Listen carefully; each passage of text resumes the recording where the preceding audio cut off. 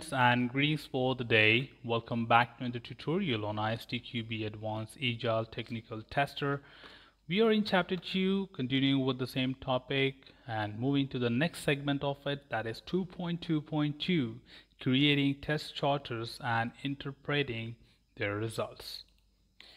We of course know about exploratory testing earlier from the life cycle that what exactly the exploratory testing is all about. Of course it makes use of certain test charters which carries a lot of information about the exploratory test sessions.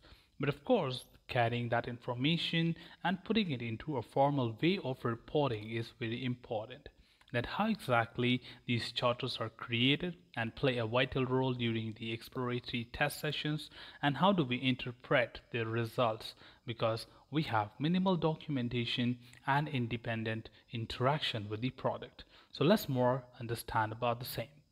Before an appropriate test charter can be created, the existing epics, user stories should be evaluated first. Of course, we have known about the evaluation of the user stories in the chapter 1 with help of requirement engineering. If you want, you can quickly refer to the tutorial one of that. When analyzing epics or user stories to create test charters, the following things should be considered. Who are the users in the epic or user story? What is the main functionality of the epic or user story? What are the actions a user can perform?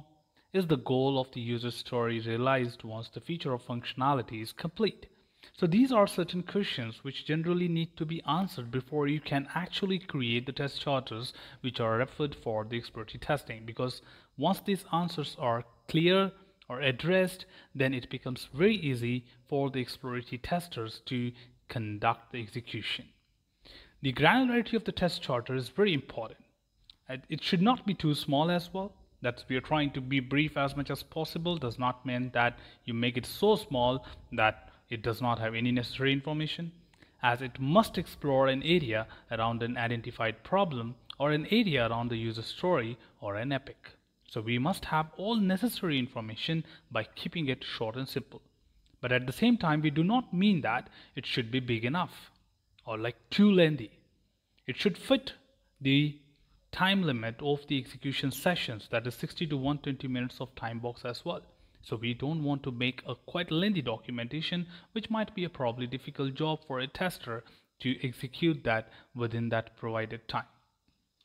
Additionally, when you talk about the test charters again, test charters can be created using flip charts, spreadsheets, documentation, or existing test management system, personas, mind mapping, and even a whole team approach. Exploratory testers use heuristic to drive their creativity in writing and performing exploratory testing sessions. These can also be used for creating test charters and in thinking creatively when analyzing user stories and epic. All the findings found during exploratory testing should be documented. The results of exploratory testing should provide insights into the better test design, ideas for testing the product, the ideas for any further improvement, etc.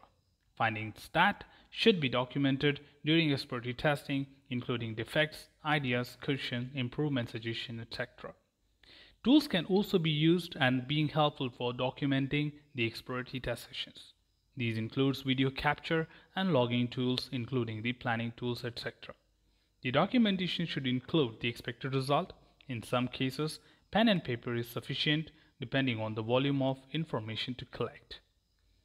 When summarizing the exploratory test sessions, during the debriefing meeting, the information is collected and aggregated to present a status of progress, coverage, and efficiency of the session as well.